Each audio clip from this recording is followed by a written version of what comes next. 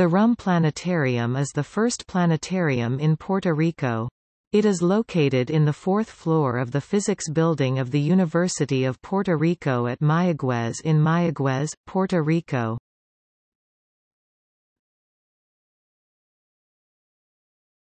Topic: Planetarium and Observatory. The Physics Department of the UPRM College of Arts and Sciences currently run the planetarium and its astronomical observatory. Both were inaugurated in 1973 and have continued working and functioning uninterruptedly since. The planetarium is a projection room whose hemispherical screen simulates the celestial sphere. In this screen one can observe close to 4,000 stars, simulating the sky as seen from anywhere in the world and at any time of year.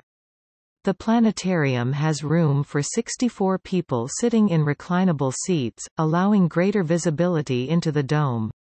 The star projector is located in the center of the hall and is controlled from a computerized console.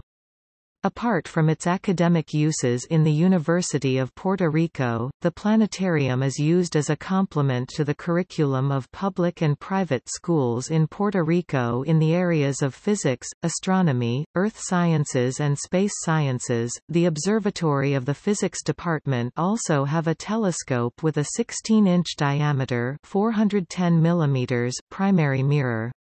This telescope is controlled by computer and enables the video transmission of astronomical imagery obtained using a CCD camera. They also provide services to the university community and the western area of Puerto Rico through open houses once or twice a month during the night.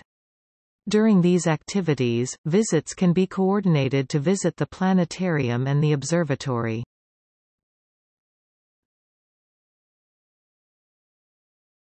Topic. See also